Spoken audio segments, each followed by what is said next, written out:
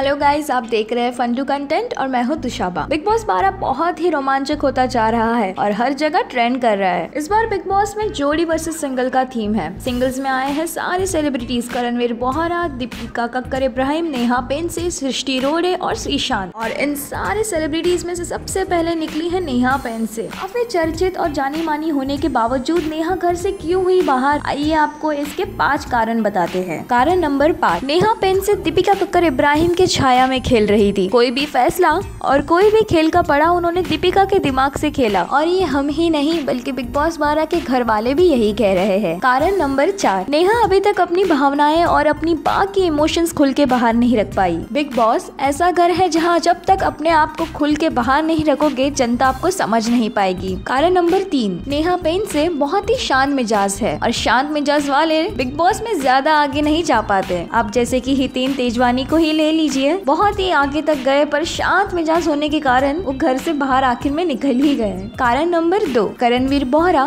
और नेहा दो ही लोग नॉमिनेटेड थे और करणवीर के अंदर सारी खूबियां हैं बिग बॉस में रहने की इन हफ्तों में नेहा से ज्यादा करणवीर बोहरा दिखाई दिए है और पसंद भी आए हैं कारण नंबर एक करणवीर और नेहा पेंसे की फैन फॉलोइंग देखे तो करणवीर की ज्यादा है नेहा से और उन्होंने साथ ही साथ बिग बॉस बारह के घर में भी काफी अच्छी तरह से खेला है और अपनी फैन फॉलोइंग और भी ज्यादा बढ़ाई है अगर आपको ये वीडियो पसंद पसंद आए तो प्लीज़ इसे लाइक करिए शेयर करिए और कमेंट करिए और बिग बॉस बारह के ऐसे ही आगे अपडेट्स के लिए बने रहे हमारे साथ फंडू कंटेंट पे और बिल्कुल भी सब्सक्राइब करना मत भूलिएगा